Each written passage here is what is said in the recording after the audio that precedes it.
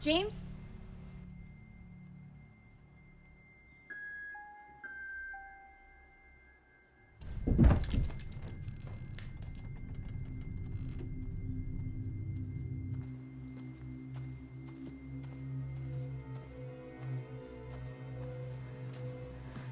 I thought I saw. Saw what? I don't know. Just. You're right. It's getting dark. We should go. We can always come back tomorrow. No, I don't want to. I just. I want to find Chris and I want to go.